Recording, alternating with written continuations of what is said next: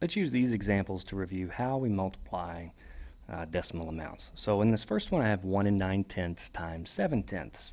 Now we don't do anything different than multiplying whole numbers as far as setting it up goes. Like we don't, we're going to multiply this the same way we would multiply 19 times 7. So kind of think of it like that.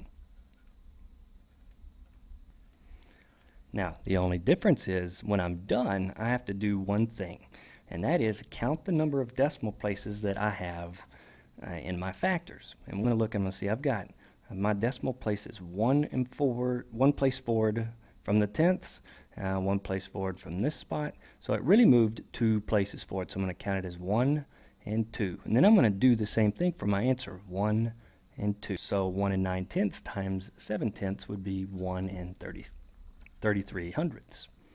So in this example, we would just multiply it like we would 6 times 5. Well, 6 times 5 is 30.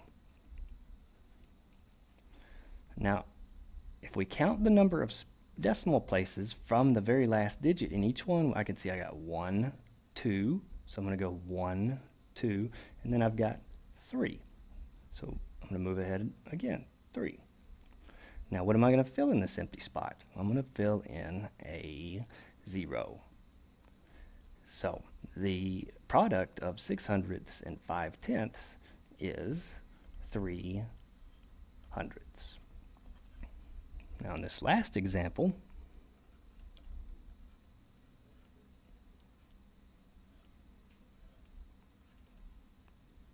Now I've got my product. I just multiplied it the same way I would have 375 times 15.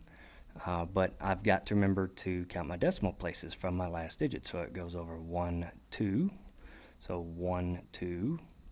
Now, 3 and 75 hundredths times 15 is the same as 56 and 25 hundredths.